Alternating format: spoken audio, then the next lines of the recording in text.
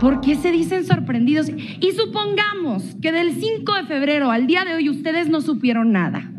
No vieron los medios de comunicación. Nadie les dijo nada en la calle. No supieron qué hizo la colegisladora.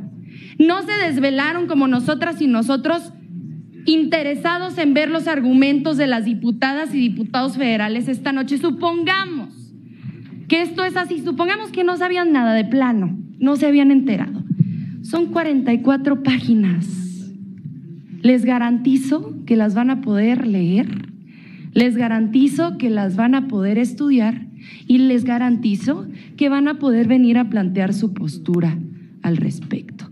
Si no pueden hacerlo en un par de días, leer 44 páginas, yo no sé de todo corazón qué están haciendo aquí. Muchas gracias.